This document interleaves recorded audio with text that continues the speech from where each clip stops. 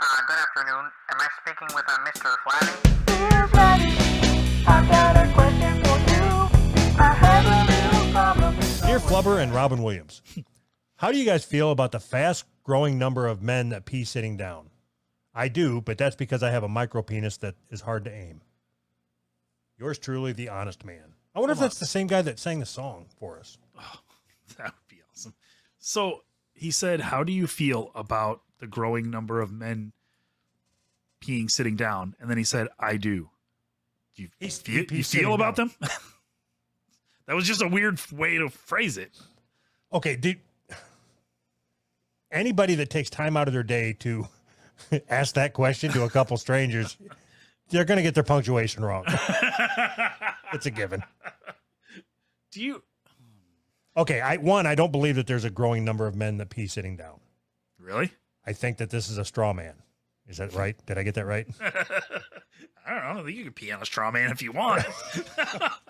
No, isn't isn't that the right thing? Like something, uh, an argument built off of false context. yeah. Usually you start with your premise. You're, you, this is what I believe, and then you build your argument from there. You know, you're arguing against something that somebody didn't really ever even say. Um, or that's not fact. yeah, it's not it's not fact. Like So- you, you you constantly talk about the benefits of peeing sitting down. Yeah, good for your prostate or something. Is it bad for your prostate? Can you prove it? Okay. when is the last time you peed sitting down? Today when I was taking a shit. I'm No, gonna- that don't count. I'm not going to stand up. I'm a man, damn it. stand stand up mid shit, slang that shit all over the place. So when I when I used to go to my grandma's house, it's so fucking weird. This that's why I'm so fucked up in the head. Okay. She would say things like men sit to pee. A good man sits to pee. Because men who stand to pee get piss on the she didn't say piss, but get urine on the toilet for their wives to clean up. So a good man will sit to pee so the wife don't have anything to clean up. But then she would make me and my cousin take a fucking bath together. Awesome. you gotta Is save it? water. so, so the, the the only two options is either sit to pee or make your wife clean up your piss. Like, there's no other options. You're an asshole.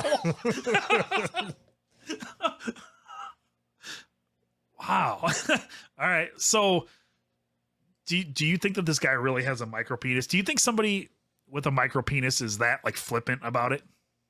Well, anonymous. Wouldn't you be?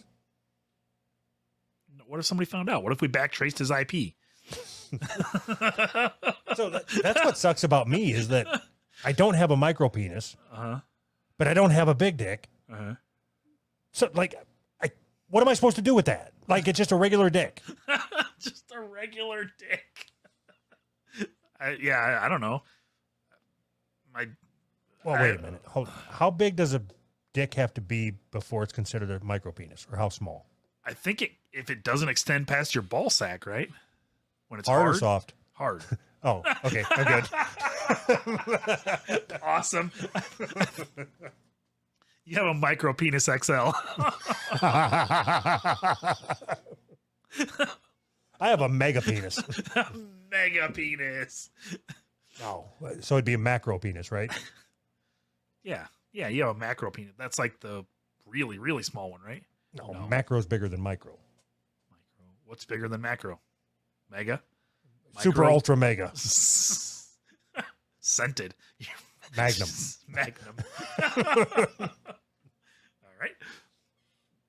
So are we really just doing a show where we just talk about our size of our dick? That that was like the one thing in my head. Like I don't want to want to do a show where I just sit and talk about how big or small my dick is. That's stupid. Let's never do that again. How big's your dick? Macro.